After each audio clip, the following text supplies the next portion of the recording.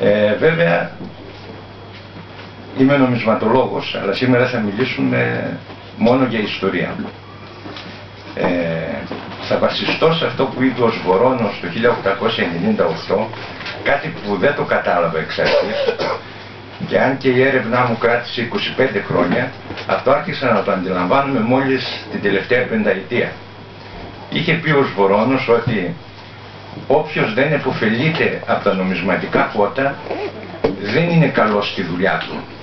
Και εννοούσε φυσικά τα παρεμφερή επαγγέλματα της νομισματολογίας που είναι ας πούμε η αρχαιολογία, η ιστορία, η γεωγραφία, η μετρολογία των αρχαίων, η μεθολογία και, η μυθολογία και άλλα που μπορεί να υπάρχουν.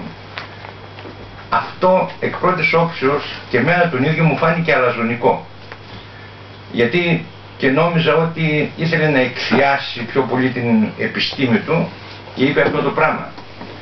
Όμως τελικά ο άνθρωπος αυτός που πρέπει να έχει κάποια φώτιση για να το πει ε, είχε απόλυτο δίκιο. Ε, εννοούσε με απλά λόγια ότι ε, τι είστε εσείς, είμαι αρχαιολόγος. Τι ξέρετε από νομισματική, εξέρετε από νομισματική ελάχιστα πράγματα.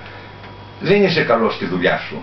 Είσαι ιστορικός, τι γνωρίζεις από νομισματική, εξέρεις δεν είναι η δουλειά μου η νομισματική, δεν είσαι καλός ιστορικός. Οπωσδήποτε ακούγεται αλαζονικό. Ε, τελικά όμως μετά το πέρας της δικιάς μου έρευνας, που κράτησε 25 χρόνια και αφορούσε την ταυτοποίηση ε, των ανεξακρίβωτων θρακομακεδονικών νομισμάτων, όπως ονομάζονται μέχρι σήμερα, τα οποία αφορούσαν την περιοχή του Παγκαίου και αν και η περιοχή του Παγκαίου είναι πολύ μικρή σε σύγκριση με τον ελλαδικό χώρο, αυτά τα ανεξακρίβοντα θρακομακεδονικά νομίσματα, τα οποία ε, μετράνε 2.000 νομισματικούς τύπους, ήταν το 60% του συνόλου των νομισμάτων, των ελληνικών νομισμάτων. Ε, όχι μόνο του 6ου και του 5ου αιώνα, τότε που εντοπίζονται τα θρακομακεδονικά νομίσματα, αλλά και των μετέπειτα αιώνων. Ήταν ενοχλητικό για μένα να βλέπω τόσους πολλούς νομισματικούς τύπους ανεξακρίβωτους. Λοιπόν, ε, εγώ ιστορικός δεν ήμουνα. Είχα πέσει με τα μούτρα σε αυτή τη μελέτη των ανεξακρίβωτων νομισμάτων και μόλις τα τελευταία χρόνια διαπίστωσα ότι ε, ήρθε κάποια φώτιση από τη μεριά της ιστορίας ε, τολμώ να πω τώρα, μετά το πέρας της έρευνας, και βάζω και τον εαυτό μου μέσα, ότι με τα ήδη υπάρχοντα στοιχεία, ε, κανένας μας δεν ξέρει ιστορία. Όσο περίεργο και αν ακούγεται αυτό. Ε, κατά κάποιον τρόπο γνωρίσαμε όλοι μια ιστορία ε, τελείως αποσπασματική, χωρίς συνοχή μεταξύ της και ε, έπρεπε να μπει μέσα ο νομισματικός παράγοντας για να δέσει όλη αυτή την ιστορία και να φανεί και η, και η τελευταία σκοτεινή πτυχή. Κάτι που το λέω τώρα που το γνωρίζω αυτό και θα μου φαινόταν απίστευτο αν αυτό μου το λέγανε ας πούμε στην αρχή της έρευνας. Ε, θα εξηγήσω ε, ε, η μη ένταξη του Παγκαίου στην ιστορία, γιατί σήμερα όπου και να ψάξουμε, ε, για το Παγκαίο ζήτημα να βρούμε 10 γραμμές ε, γραμμένες κάπου και αυτές τελείως αόριστες. Ας πούμε, ε, μπορούμε να ψάξουμε για τις εννέα οδούς, που ήταν το πρώτο όνομα της Αμφίπολης, δεν θα βρούμε το παραμικρό στοιχείο για τις εννέα οδούς, μόνο το όνομά της. Μπορούμε να ψάξουμε για τη Φάγρη, το ίδιο, για τη Γαλιψό, για τον Αυλώνα, για την Πέργαμο, για την Ισίμη και πόσες άλλες πόλεις. Πέραν του ονόματος δεν είναι τίποτα άλλο γνωστό. Μπορούμε να ψάξουμε για τα τοπικά φύλλα. Ας πούμε, ε, τι είναι γνωστό για τους Ορέσκιους. Τίποτα, μόνο το όνομά τους. Ούτε ξέρουμε που ήταν η επικράτειά τους, τίποτα. Το ίδιο μπορούμε να ψάξουμε για Ιχναίους, για Λαέους, για Είδονες, για Λεταίους, για Δερώνες. Και δεν συμμαζεύεται. Δεν υπάρχει τίποτα γνωστό. Λοιπόν, αυτή η απουσία του Παγκαίου ε, από την ιστορία με δίνει το δικαίωμα να πω ότι δεν γνωρίζουμε τίποτα από ιστορία. πίσω από κάθε σημαντικό γεγονός της αρχαιότητας κρυβόταν το Παγκαίο. Αυτό δεν μας το είπε κανένας. Και θα πάρουμε ας πούμε σαν παράδειγμα τον Αθηναίο, τον Πισίστρατο. Βγαίνει μία αναφορά ιστορική και μας λέει ότι ο Πισίστρατος εξορίστηκε σε κάποια στιγμή από την Αθήνα το 556, κατέφυγε στο Παγκαίο, έμεινε 10 χρόνια και αφού πλούτησε γύρισε και έγινε τύρανος των Αθηνών. Το Πισίστρατο. Δεν ακούγουμε πίσω. Όχι, Τίποτα άλλο δεν είναι γνωστό. Μα πού ήρθε αυτός ο άνθρωπος, πού πήγε, τι υποδομές έστησε. Ένας άντρας μόνο.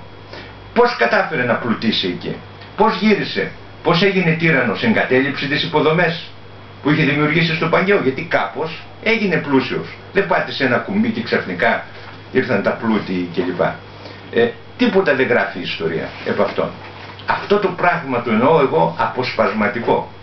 Όλες αυτές οι απορίες έχουν λυθεί ε, μέσα από την νομισματολογία. Τα νομίσματα φανέρωσαν όλη τη διαδρομή του Πισίστρατου. Το τι ακριβώς έκανε στο Παγκαίο, ποια υποδομή έστησε, με ποιους συνεργάστηκε. Μέχρι που ήρθαν οι Πέρσες. Γιατί οι Πέρσες ήρθαν ξαφνικά το 512 και το 511 θέσαν υποκατοχή το, το Παγκαίο. Κανένας δεν μας λέει τίποτα. Ε, γιατί οι Αθηναίοι υποκίνησαν επανάσταση στις Ιωνικές πόλεις σε κάποια στιγμή. Ε, τι ήταν αυτό που επιζητούσαν; Δεν μας λέει κανένας τίποτα. Δεν υπάρχει αιτιολογία. Και δεν υπάρχει αιτιολογία γιατί λείπουν τα ιστορικά δεδομένα του Παγκαίου. Και μια που αναφέραμε την Ιωνία, οι Αθηναίοι, οι οποίοι ήταν γερά εγκατεστημένοι στο Παγκαίο, από τον Πισίστρατο ακόμα, ε, με την άφηξη των Περσών εκδιώχτηκαν Πλέον το, ο μηχανισμός του Παγκαίου δούλευε για τους Πέρσες. Δεν είναι τυχαίο ότι ο Δαρίος τα πρώτα του χρυσά νομίσματα και τα αργυρά φυσικά τα έκοψε στην περίοδο κατοχής του Παγκαίου από τους Πέρσες. Ακριβώς τότε κόπηκαν οι Αθηναίοι από τη στιγμή που απομακρύνθηκαν από το Παγκαίο το μόνο πράγμα που είχαν στο μυαλό τους ήταν πώς θα ξαναεπιστρέψουν εκεί. Αυτό λοιπόν ε, τους, ε, το σχέδιό τους ήταν να δημιουργήσουν αντιπερισπασμούς. Ο ένας αντιπερισπασμός ήταν να υποκινήσουν την επανάσταση στις Ιωνικές πόλεις. Ο άλλος ο αντιπερισπασμός υποκίνησαν επανάσταση μέσω των τοπικών φύλων στο Παγκαίο για τον ίδιο λόγο. Η επανάσταση στην Ιωνία απέτυχε, πνίγηκε στο αίμα. Όμως η επανάσταση στην, ε, ε, στο Παγκαίο πέτυχε. Τα τοπικά φύλλα, χολωμένα από τη συμπεριφορά των Περσών, και ειδικά του Ιστιαίου του Μιλήσιου που εξεδίωξε τους Ίδωνες από τη Μύρκινο για να την κάνει πρωτεύουσά τους πέτυχαν σκληροτράχυλο όπως ήταν και πέταξαν τους Πέρσες στη θάλασσα.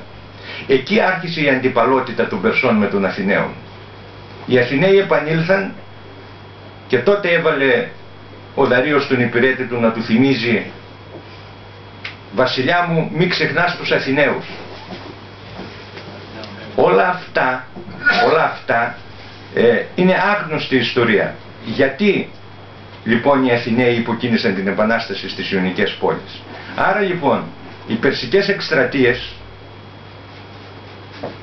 έγιναν για το Παγκαίο. Στην πρώτη εκστρατεία ανακατέλαβαν οι Πέρσες στο Παγκαίο, όμως έπρεπε να εξαλειφθούν οι Αθηναίοι.